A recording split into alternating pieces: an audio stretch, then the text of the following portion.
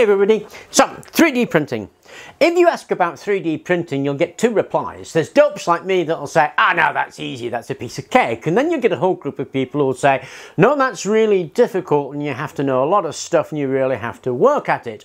And you have got two answers for a very good reason. I mean, those guys are right. To become a master of the craft, well, it's like anything. It takes experience, it takes practice, it takes working at it.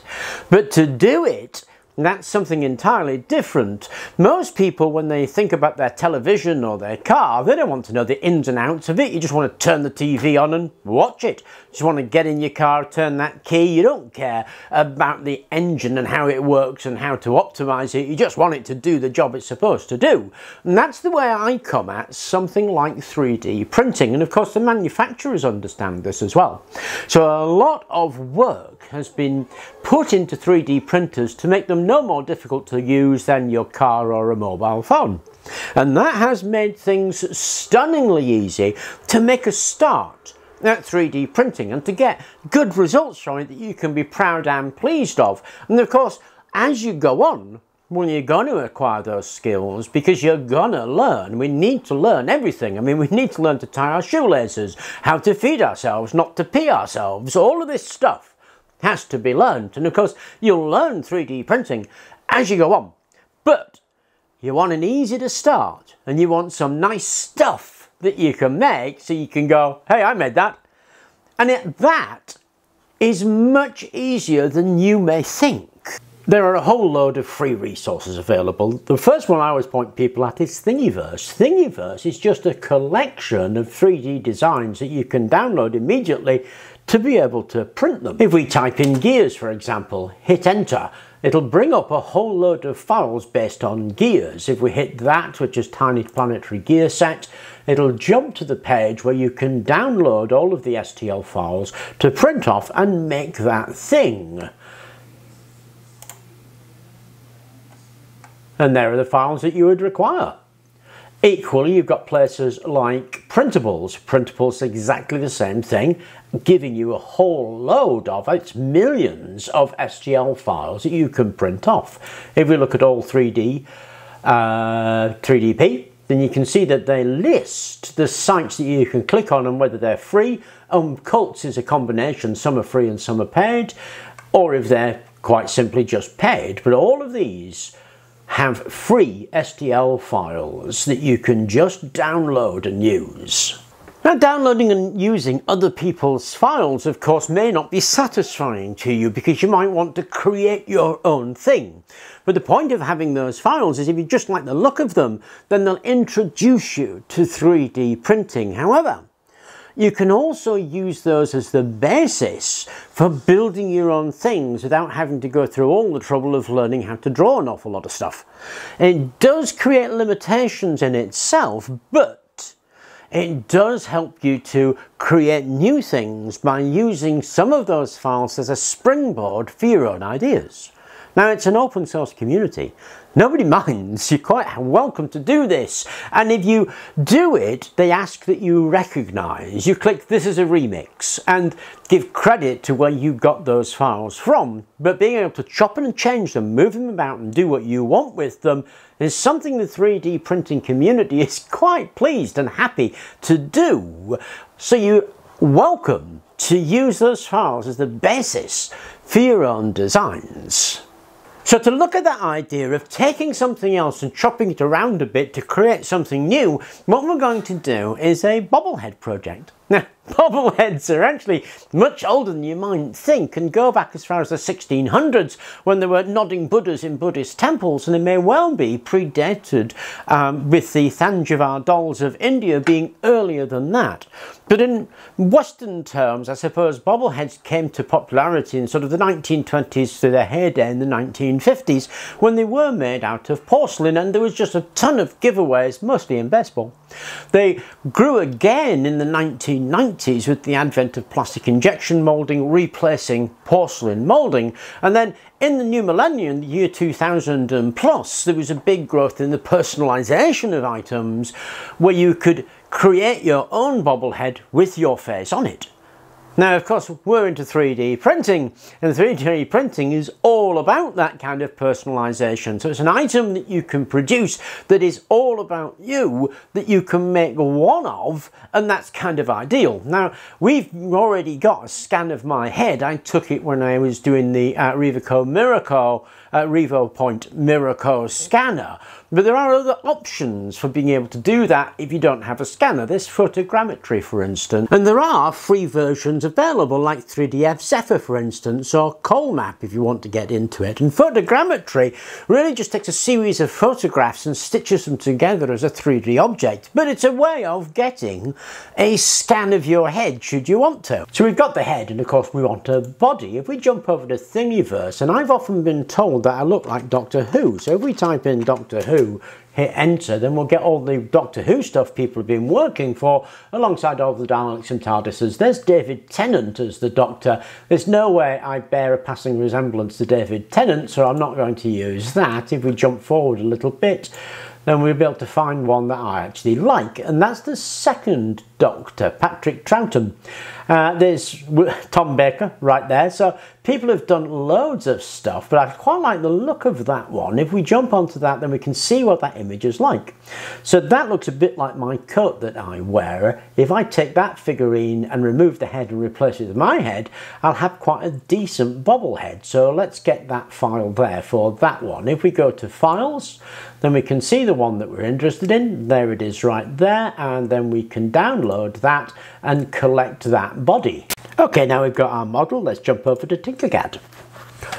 We'll create a new design, 3D, and it'll open us up into the workspace. Now I always work with the ruler on, so I always put the ruler on just to help me know where I am with things. Once the ruler's in place, we can import the model we just downloaded, choose the file, there it is, second Docker updated, open it. Now it'll ask us a few, questions, whether we want to work in millimeters or inches, and the scale we're going to import it. I think that model will be a bit small, so let's double it and import it. Okay, there it is. If we click on it, we'll get the information on its height. You can see it's about 70 uh, millimeters or 7 centimeters tall. That's kind of a nice height. That'll print on just about anything, including the Tiny Tina 2 and the Elegoo's and just a whole range of things. It's a nice size of model, but we need to do a couple of other things with it. Let's put a base on it because the base, obviously, will be the thing that stops it falling over make it 3 millimeters high and 50 by 50 and then we can center if we just highlight both of those click the center and we can center it to the base his feet are sinking into the base so let's raise him by 3 millimeters so it stands on top of the base and doesn't sink into it there we go and now we can join those two together by merging them and then we want to chop off his head to chop off his head pick a hole. We're going to put that, uh, it was 70 high, so let's say 60 at the first guess. Center them. Click on that and then click that. We'll zoom us to that so we can have a look. And we can see it's far too high. So let's lower him by 5, call that 55. Too high, too low rather, 58, 59, and we're at kind of a nice height, but his, his chin is still sticking out there. So if you see that, that allows us to rotate it. So let's rotate it by a few degrees and we can cut off his head. And then just merge that. And there we go, our headless doctor figurine. Now we want something to put the bobblehead on. And the bobblehead is really just going to be a, couple of cylinders. And the first cylinder, let's just make sure it's cylindrical, we want it at 15 by 15 and then we can raise that up to 25 now we're going to put a spring on there and the spring I happen to know is um, 5 millimeters in the internal so we get another one. This time we want it 30 and 5 and 5 and then if we merge those two so let's align them first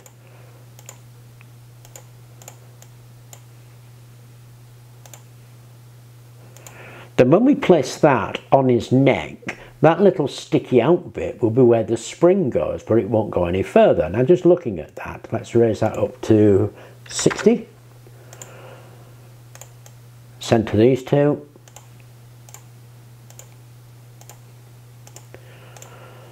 Zoom in on that. We can see it's far too big. So let's undo that and reduce the size of that.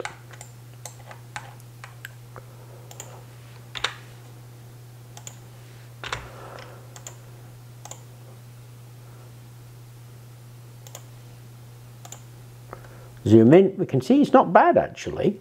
Now we can use the arrow keys. It's going to be a, quite a lot because this remember is only 6 millimeters. We've got it set at 1 millimeter. Let's set it at 0.1 and if we use the arrow keys on that then we can position that head over the neck. I forgot to merge them. So let's merge them now.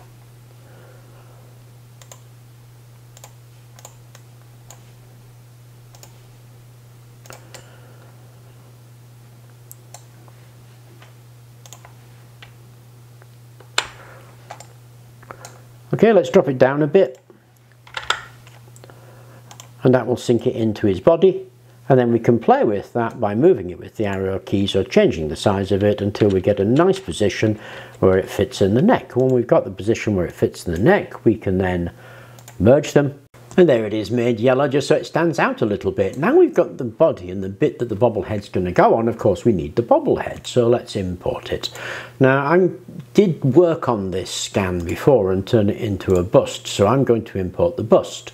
But I've printed that bust so I know that it's too big. I'm going to scale it down to 60% because really you're aiming for the head to be about a third of the size. So the body should be two thirds, the head one third, and that creates that nice cartoon character kind of effect. And there it is. Now we're going to do exactly the same thing that we just did. We're using these basic shapes, and in this case the box hole.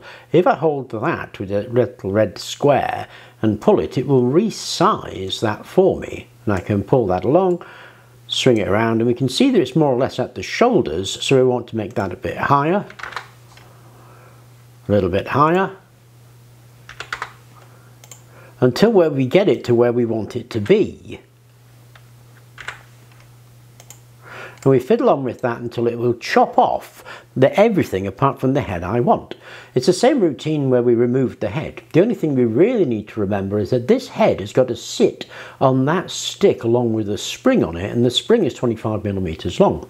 So we need to make a hole in there that will take that and to do that we use a hole, make a circle, change that to 15 and 15 and then this, that will be merged in the center of the head and it'll allow it to sit on the spring and look natural. But the spring might move. So what we're going to do is add another one but this time we change that height to 25 which will give us a little indentation of 5 millimeters by 5 millimeters so we change that to 5 and that to 5 then we can align them by using the aligning tool.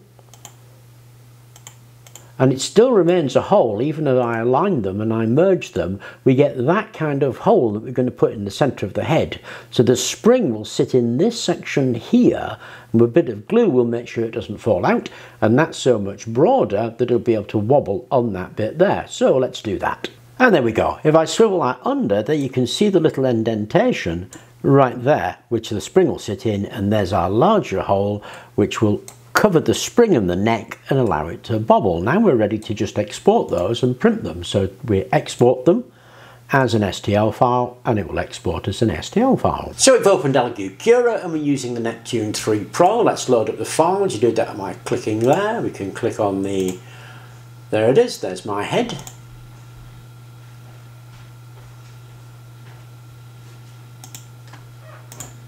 And there's the body. Let's arrange those and check.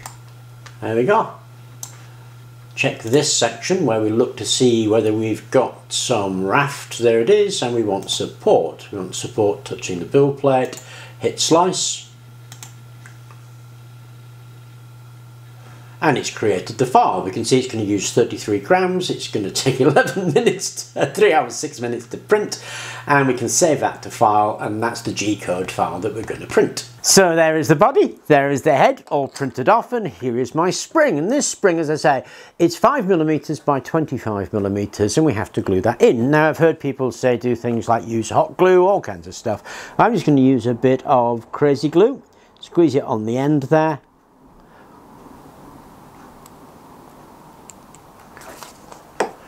pop it in the head so that it goes in that indentation.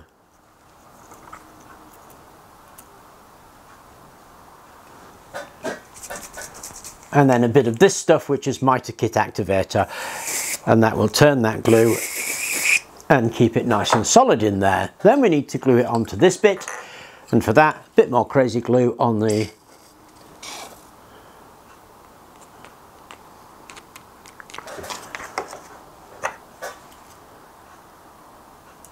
and then put the head in an attitude that you want it. So I want it just a little to one side. There we go. Ta-da! I showed this to my wife, she killed herself laughing and said, we have to have that on the mantelpiece. So the point is, you can learn all of this stuff by using what others have done as a springboard for your own creativity while you learn what you need to learn to be able to do models and designs right from scratch. You don't have to be able to do that to do some really cool and amusing things like this stupid bobblehead. I mean, who knows? Maybe it'll get inducted to the Hall of Fame. I'm going to put this on um, Thingiverse, of course, and it will be in the description with the link. Now, I'm not arrogant enough to think you might want my head, but you might want the doctor's body so you can put your own head on it. And as I've done the adaptations on the body now, then that's obviously freely available. Of course, I will mark this as a remix and give credit to the person who originally designed the body because that's what you do. Anyway, that's going to my mantelpiece. I hope you enjoyed the video. Thank you very much for watching and please do remember to like and subscribe.